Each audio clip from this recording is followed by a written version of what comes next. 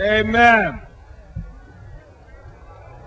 The next voice we'll hear from is a young man named Viggo Mortensen, who is an artist and an American citizen.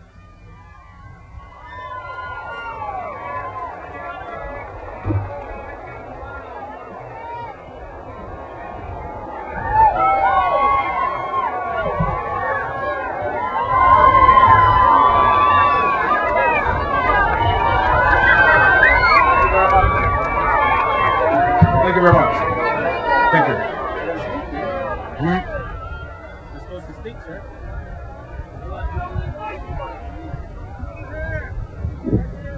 Thank you very much. You're not allowed to speak? Thank you very much. What's happening?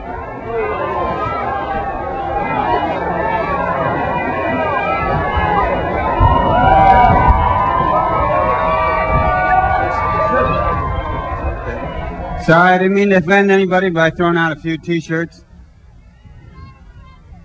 All right then.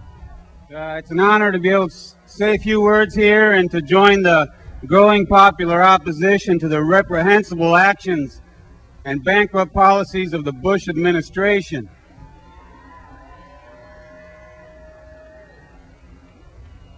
It's going to take time to fix the mess this administration has made, and it's going to take more than one duly elected and truly compassionate administration to stop the erosion of our individual liberties and restore this country's moral standing in the world.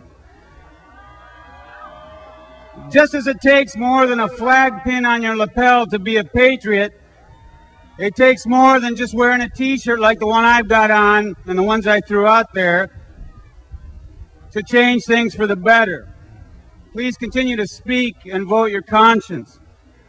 I'm going to read a poem that I wrote in February of this year, just before the Anglo American invasion of Iraq. This is for the people of Afghanistan and Iraq, but most importantly for my fellow citizens in this country. It's called Back to Babylon. Accept and forget difference or desire that separates and leaves us longing or repelled.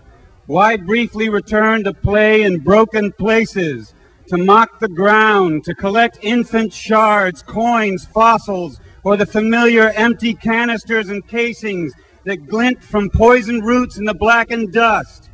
We make bad ghosts and are last to know or believe we too will fade, just as our acrid smoke and those strange flakes of skin and strands of hair will, into largely undocumented extinction. Lie down, lie down. Sleep is the best thing for being awake. Do as we've always been told and done. No backward glances or second thoughts, leaving sad markers buried in the sand. Sleep now, dream of children with their heads still on, of grandmothers unburdening clotheslines at twilight, of full kettles slow ticking over twig embers. Ignore boneless, nameless victims that venture out onto bitter gravel to claim remains while we rest. Pay at the window for reheated, prejudiced incantations. Take them home and enjoy with widescreen, half digested, replayed previews of solemn national celebration. Then sleep by all means. We'll need all the energy we can muster for compiling this generation's abridged anthology of official war stories, highlights of heedless slaughter to burnish our long and proud imperial tradition. At some point, by virtue of accidentally seeing and listening, we may find ourselves participating in our own rendering. Few of our prey will be left alive enough to water the sun with their modest, time rubbed repetitions, to rephrase their particular unifying laws. Our version of events has already made its money back in foreign distribution and pre sales. All victory deadlines must be met. It can get so quiet, with or without the dead watching our constant deployments. From our tilted promontory, we may see one last woman scuffle away across cracked parchment of dry wash beneath us, muttering to herself, or is she singing at us as she rounds the sheared granite face and disappears into a grove of spindly, trembling tamarisk shadows lining the main road? We'll soon hear little other than our own breathing as shale cools and bats rise to feed, taking over from sated swallows. Night anywhere is home. Darkness, a cue for turning inward.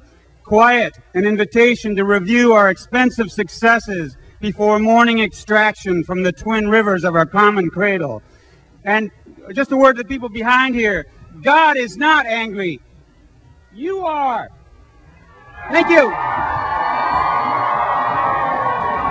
Amen.